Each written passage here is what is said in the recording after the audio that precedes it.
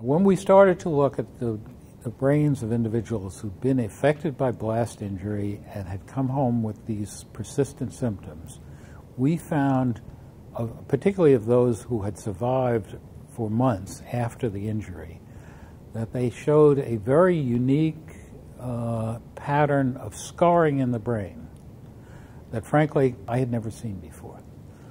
Uh, and each of these cases seemed to look alike with the same pattern of, of, of scarring.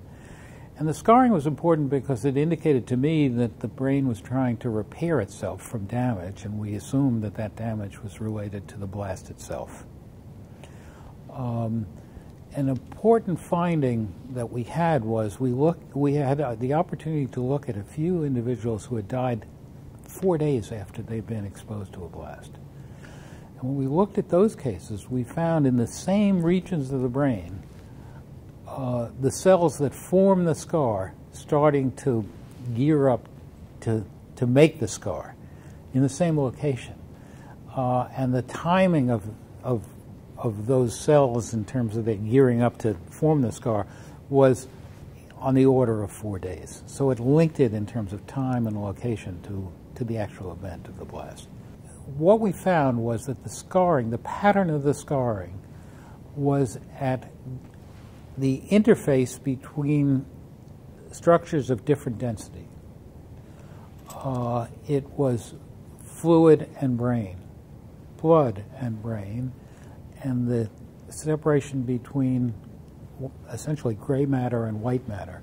And this is where the energy of the blast wave is released it, it, it passes through the brain almost instantaneously. But the biophysicists tell us that it's the really the, the energy is released as it passes through different densities.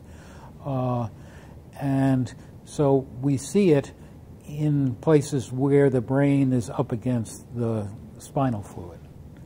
Uh, in brain tissue around blood vessels, and in particular at the interface between gray and white matter. It's widespread in the brain, uh, which again is what you would predict. It's, it's not so much, you know, just in the front of the brain because you're facing the blast. It, once it enters the skull, it just passes right through the brain. Having seen that, we wanted to compare these cases to individuals who had had impact traumatic brain injury who had never never been in combat, never been exposed to blasts. So we were able to obtain examples of individuals who had survived automobile accidents, motorcycle accidents, falls, did the same stains, looked for the scarring, and just did not see it.